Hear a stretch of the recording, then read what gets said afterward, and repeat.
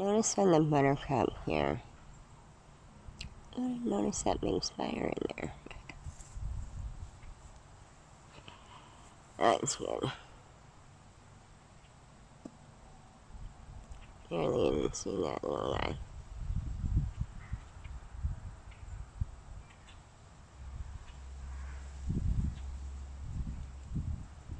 Big spider.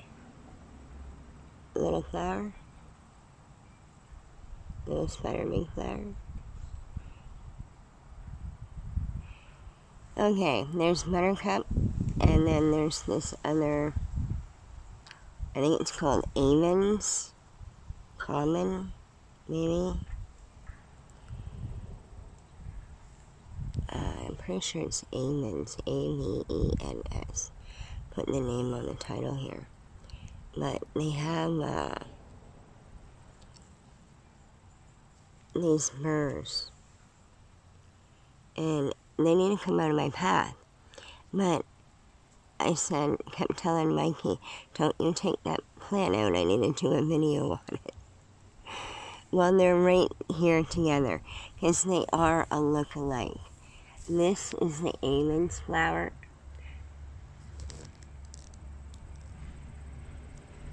Okay, I need to this one.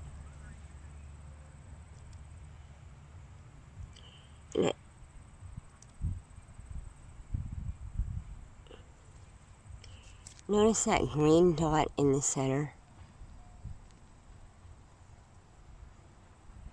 Well, that's where the mature seeds will start forming, right?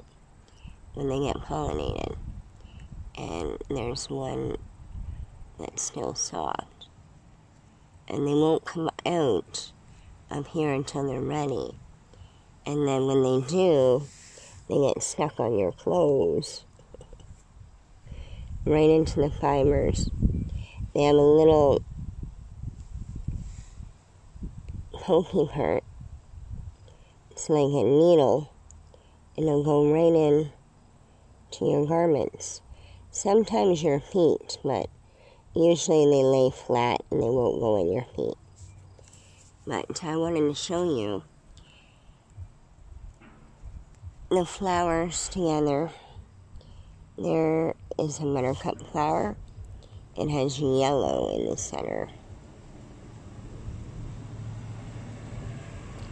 Now, buttercup has toxins. You're not really supposed to eat it. So, we don't eat it.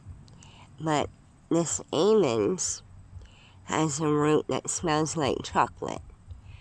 So, the Avens leaves are sometimes very different on the top and the bottom of the plant. It can get confusing with first year and second year plants.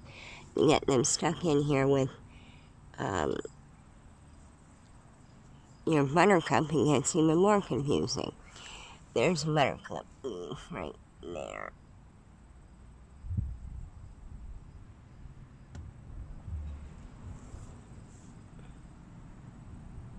There's our spider, I just disturbed him. And then there's the Avens leaves at the top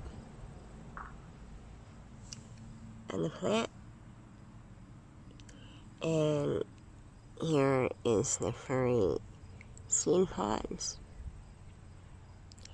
Sticky, furry. And here is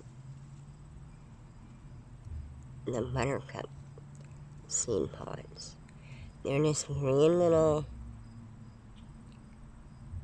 no fluffy. I don't even think they get stuck in anything.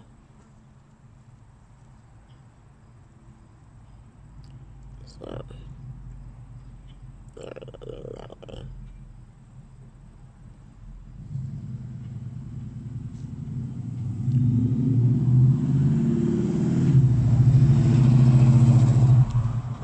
One from the bottom. From the bottom of the plant. And sometimes it'll get more leaves down the stem. That one's Avens. Your buttercup. Where's that one? Is what's over there. And the Virginia creeper was right beside there too, so you don't get distracted. Thank you very much. I hope you enjoy. Hopefully we can try some of this shortly. I love chocolate. But I think I need a first year plant to get a good root, not a second year that's flowering. So all those seed pods, they're getting stuck on me everywhere. They're going to go out in the food forest hedge with the rest of the plant.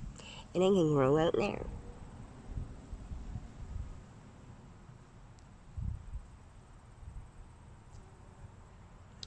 On the oregano the mimi.